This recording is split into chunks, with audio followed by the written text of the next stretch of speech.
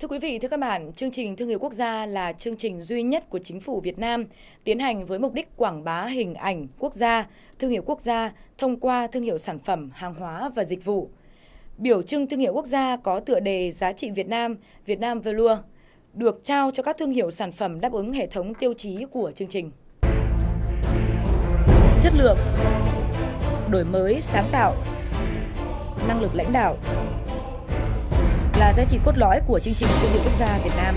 Chương trình không phải là một giải thưởng thương hiệu. Việc lựa chọn các thương hiệu sản phẩm thương hiệu quốc gia chỉ là sự khởi đầu để các doanh nghiệp trở thành đối tác của chương trình.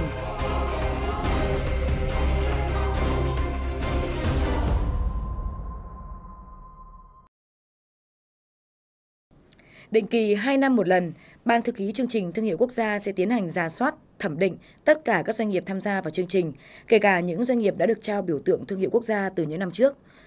Có thể ờ, khẳng định là các doanh nghiệp lần này thì ờ,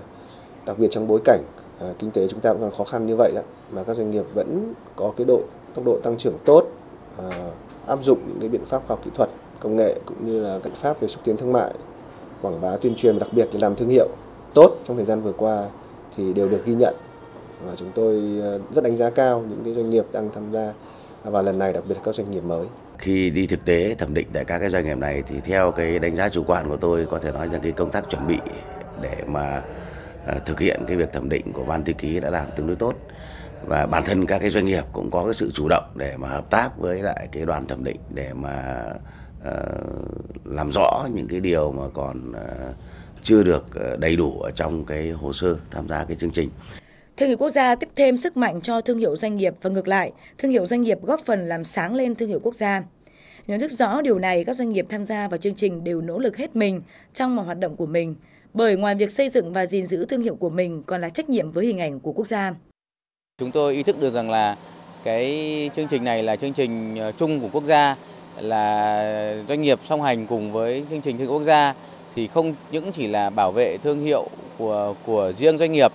trên trên thị trường trong nước mà còn là thương hiệu ờ, mà hình ảnh của quốc gia đối với bạn bè quốc tế và những thị trường quốc tế. À, khi chúng tôi tham gia vào đây thì chúng tôi nhận rõ cái trách nhiệm của mình để góp phần xây dựng hình ảnh thương hiệu quốc gia và thông qua đó thì chúng tôi cũng sẽ góp phần để ờ, xây dựng cái hình ảnh thương hiệu của chính BIDV.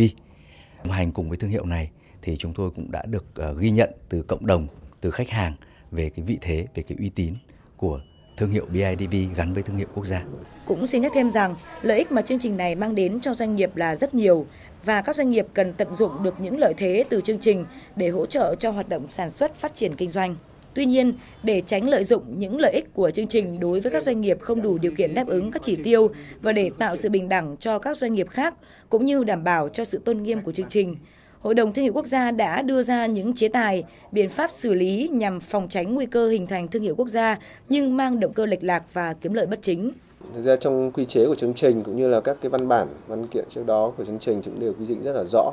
quyền và cái nghĩa vụ, thậm chí cả những cái biện pháp mà xử xử lý khi mà các doanh nghiệp có vi phạm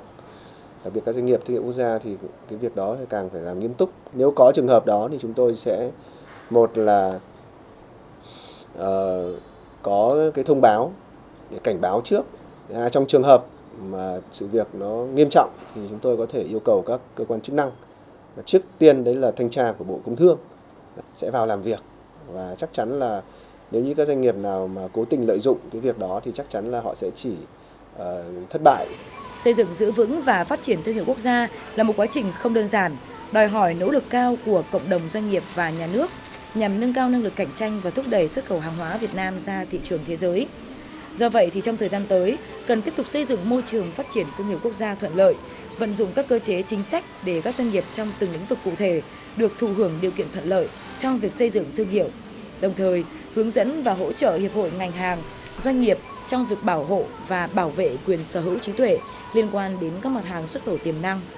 Với những thành công của mỗi sản phẩm, doanh nghiệp sẽ góp phần gia tăng giá trị thương hiệu Việt Nam, giúp hàng Việt Nam khẳng định uy tín và vị thế trên thương trường thế giới.